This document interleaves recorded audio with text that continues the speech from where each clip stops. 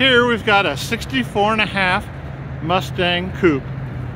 This is a fairly unusual and it's got factory air conditioning and it's a four barrel. Pretty cool and it's really nice. He's got 65 style steel wheels.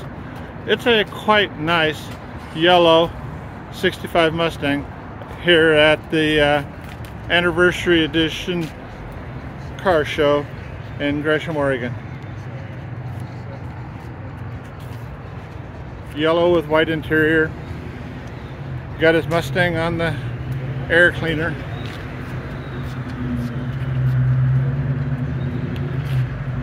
I'm a pretty big fan of these cars. My first car when I got home out of the army was a 64 and a half Mustang Coupe.